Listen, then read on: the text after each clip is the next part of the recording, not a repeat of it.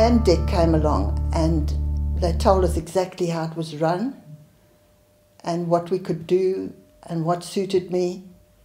And it just fell into place. I mean, Matthew sold my house within two days and I got my money within a month. And I just fitted in, everything just went according to plan. It was um, unbelievable, you know, compared to anything else that I've ever experienced. So that, they, they ran, the, they really, for me personally, it worked very well.